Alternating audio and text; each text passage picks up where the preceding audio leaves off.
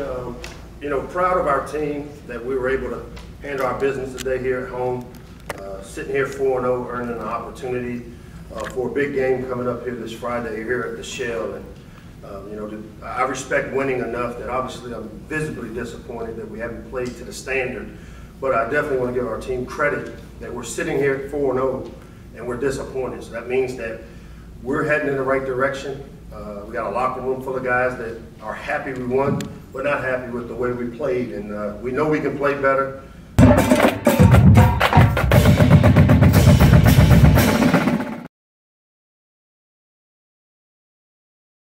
Uh, it's my job to get us to play better, and we'll, we'll get that thing turned around. Obviously, it was a sloppy game with the penalties, the drops. Uh, you know, on both phases there at the end of the half, we just didn't finish the way I wanted us to. But I felt we played strong in the second half. I thought our team came out. We've uh, made some of the adjustments. We brought a little more energy. I thought we started out a little lethargic as a team, and I thought the second half we played better. Um, we could have played better, but as I told our team, you know, winning is hard. It is hard to, to win ball games in this league uh, and being in the Big Ten, as well as you know playing a team like Kent State that came in and, and were battle tested against two top ten teams. Uh, obviously, our defense gave up some yardage this this week, but what I did appreciate and like about how we played defense this week was uh, the third down and, and, and didn't get down and score touchdowns in the red area, which uh, we improved from last week. You know, once again, I thought our quarterback uh, really showed command. I thought our quarterback, uh, you know, obviously threw for over 300 yards for the, you know, third, fourth straight game, however many games it is.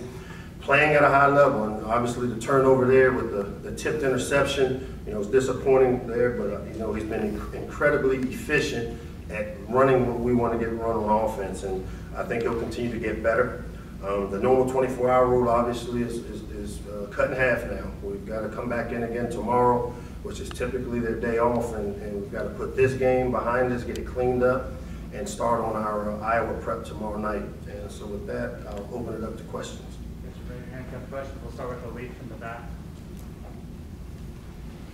Coach, uh, two parts. One, do you have an update about Brandon Jennings? And then two, how much did his loss affect the game? Um, no update on Brandon just yet. I know they took him in. Um, he didn't return. Um, we, we obviously are getting a little thin there because we wound up losing uh, number 11, uh, Ruben there in the second half as well. But what it did was it gave us an opportunity to play players like Kobe Thomas, who came in and uh, really played at a high level for us. And here's a guy that didn't get a lot of work uh, all week long, but he was prepared to go out and play when his opportunity in turn came. So I was really proud to see uh, Kobe go out and operate the way he did. But don't have much information on any of the injuries from uh, the game just yet. On to your left, Alexander. Uh, oh, Jesus, left.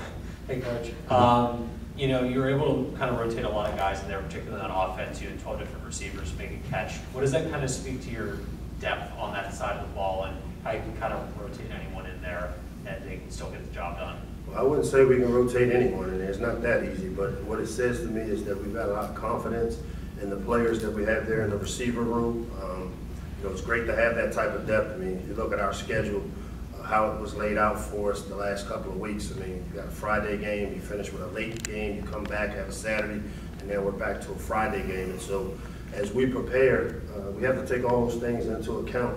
And, uh, you know, it becomes kind of a uh, compound interest when you play your starters a lot of plays, and then all of a sudden, you- got those guys out there for 80 plays, and you got to turn around and practice tomorrow. So we went in with the plan that we would have to play a lot of players. Uh, Our coaches did a great job of getting those, you know, inexperienced guys prepared to play the game. Um, Today was a little more sloppier than what I would have liked, but, you know, based off of how our schedule kind of was laid out, uh, we, we needed to play a lot of players so that we could, uh, you know, keep ourselves in position to continue to compete. You mentioned Taulia's command of the offense, and, and when things are going well and efficiently on offense, what are the common threads that you notice as to, as to what enables that to happen? Um, we don't beat ourselves, you know, I call them self-inflicted wounds. When we don't have drops, penalties, sacks, fumbles, interceptions, uh, we're pretty good on offense. But when you look at, we call it our margin of error, and if you look at us on offense today with the drops we've had, we had, I thought our O-line did a better job of keeping the quarterback from sacks. Uh, Not sure about how many offensive penalties there were just yet, but I would venture to say, uh, you know, we didn't necessarily play without, on offense without beating ourselves. Um, When we, when we eliminate the self-inflicted ones, we got a chance to be pretty good on offense, and we feel like we got a quarterback that can, can lead us. Scott? Hey, Mike, congrats on the win. What's up, thanks? Um, looking at the running backs, you had, I think, four backs with at least, you know, a handful of carries. Um, Challen Faamatau too, got some early playing time. Uh, Are you just kind of still looking for a rotation there, or, you know, what was the reason for some of you guys playing, and how do you think they all performed getting in there? I mean, we've always played a lot of backs around here. Um, I just think the way the game play, the way the game plays out, and uh, being consistent with what we talked about, developing our team. Um, You know, Fleet Davis is our guy. Um, He's the guy that's going to get the brunt of the workload. Um, Obviously, we've had Isaiah Jacobs, and, you know, he's been nursing a turf toe. And so because of that, we've had to get some other guys ready. You know, Challen is one of those uh, seasoned veteran players, even though he's been around here only two years. But uh, one of those guys that can get us out of a spell, get us out of a jam there, and, and, and be a productive player as we saw today. And then, you know, we've been really pleased with the way Colby McDonald has come on for us. Uh, we saw it at training camp, and we've made a commitment that we were going to play him. Uh, and, you know, we talk about it as a staff, um, based off of my direction, how many plays I want to see players play, because I've got to look at the macro view of this thing, and, you know, it's a long season, um, injuries pile up, and we've got to have experienced players.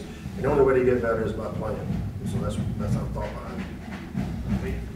Coach, back here again. Um, you mentioned earlier you guys are 4 0 for the first time since 2016, haven't played up to your standards. This is foreign territory for a lot of everyone on the team right now. How do you not let it get to their heads, not let themselves get ahead as you also prepare for another tough Big Ten opponent?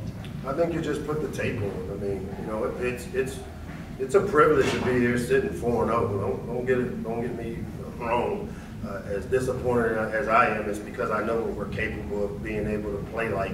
And I know these kids put in the work, uh, Monday through Friday, and, you know, we've got to get some things cleaned up, but, uh, I respect winning enough that we're sitting here four and oh with a great opportunity against one of our top teams in our league here at home. And my expectation is that, you know, we sell this thing out with our fans. Uh, we create that environment that we're going to need. Uh, you know, maybe follow the lead of what our volleyball team did. And shout out to the volleyball team for a great job yesterday. But we've earned this opportunity, and uh, we got to get some things corrected. And, and I, I know based off the leadership that this, this team has shown, uh, we'll get it corrected and be ready to go Friday. Uh, Hey, Coach. Um, What does this game do for you in terms of answering your question of uh, discipline? and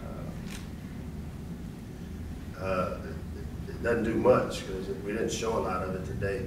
You know, I, I'm okay, as I've said, with uh, the pre-snap penalty or the, the in the middle of the play penalties, holding and, you know, pass interference, some of those things are hard to, to guard against, but it's the end of the play penalties and those pre-snap penalties that really are irritating for us as a coach. And, you know, at some point, we got to get this thing fixed. And it's been uh, an Achilles heel, it's been an issue.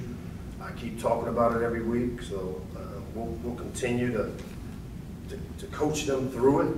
Um, You know, that's the deal with 18 to 22 year olds.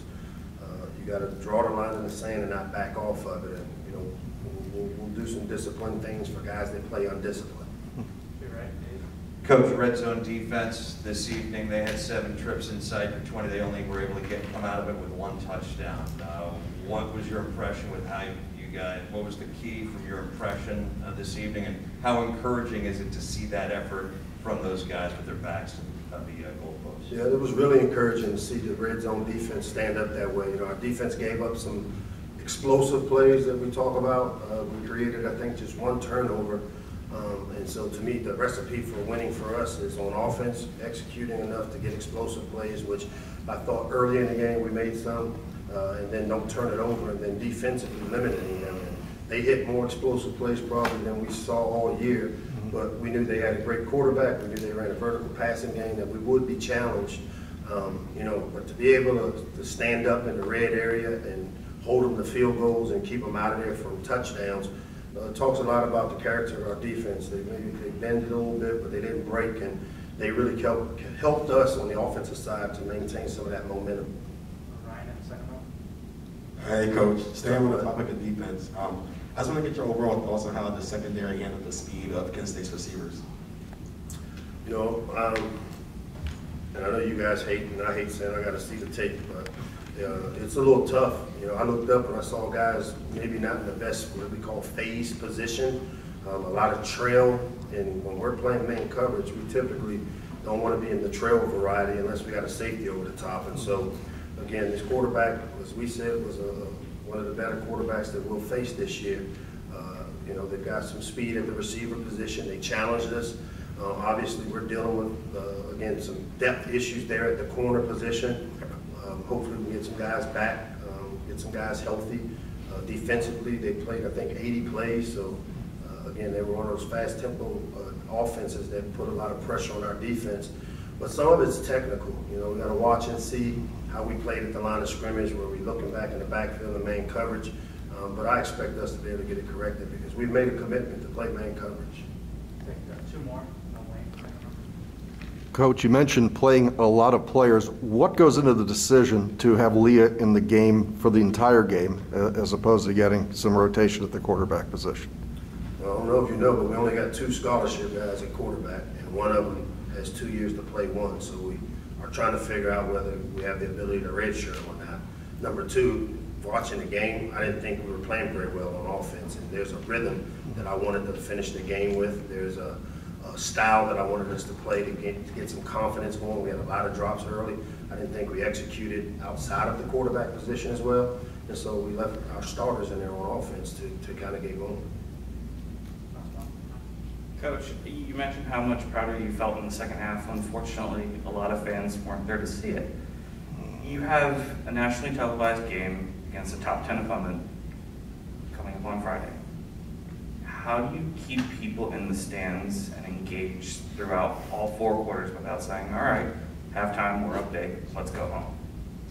Yeah, that's um, out of my uh, decision bracket. That's, all I can do is put a product on the field that they would want to stay for four quarters. And, you know, I'm gonna sit here and tell you, I thought our student section again showed up. Um, To me, I got a lot of respect for them coming out and supporting us. Um, You know, getting people in here, uh, the one thing I do know about this area is this is a big game that we have an opportunity to kind of define ourselves as a team during the 21 season. And I have the expectation that our fans will be here, they'll be loud, they'll have an impact, and they'll give us the necessary energy to go out and play well, and I'm looking forward to seeing them do that Friday. Appreciate it. Thanks. We'll Dontay Demus, up, please, David.